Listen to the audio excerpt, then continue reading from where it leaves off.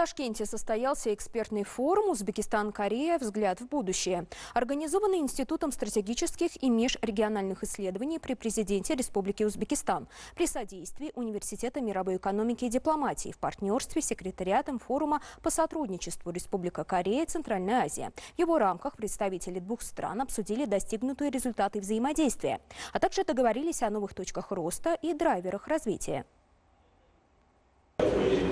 Основная цель проведения форума – выработка предложений по дальнейшему укреплению двустороннего взаимодействия в политической, экономической и культурно-гуманитарной сферах. Принимая во внимание, что экспертный форум приурочен к празднованию 30-летия установления дипломатических отношений двух стран, за это время состоялось 18 саммитов.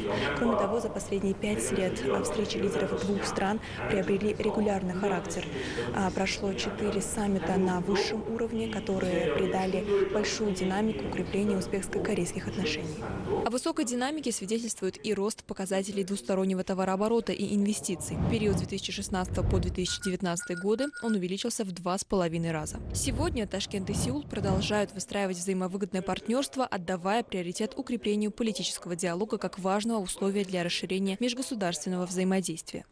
На сегодняшний день Республика Корея установила отношения особого стратегического партнерства только э, четырьмя государствами. Это Арабские Эмираты, Индия и Индонезия том числе и Узбекистан. В целях э, придания практической направленности Корея заключила соглашение о всеобъемлющем экономическом сотрудничестве и соглашение о свободной торговле. То есть со всеми этими тремя странами эти соглашения есть. В этой связи э, корейские эксперты предложили заключить э, аналогичные соглашения с Республикой Узбекистан. Это позволит, во-первых, усилить приток инвестиций, создать дополнительные рабочие места в Узбекистане. Более того, они рассматривают эти соглашения в качестве своего рода такого трамплина или плацдарма для выхода на центральноазиатский рынок.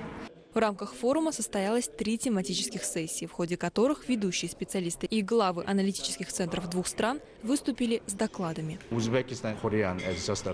Узбекистан и Корея продолжают поддерживать активный диалог, что способствует еще большему углублению и расширению партнерства. Ташкент и Сеул осуществляют тесное взаимодействие в рамках региональных и международных структур, оказывают взаимную поддержку инициативам друг друга на международной арене. В вашей стране большое внимание уделяется молодежи. Они проявляют себя очень активно в самых разных разных сферах, внося достойный вклад в процветание страны. У нас в Корее все немного иначе. Думаю, этот форум – настоящая платформа, благодаря которой мы смогли наметить курс развития дальнейшей совместной работы. В целом, проведение экспертного форума позволило всесторонне оценить достигнутые результаты двустороннего сотрудничества, обсудить текущее состояние и наметить дальнейшие перспективы узбекско-корейских отношений.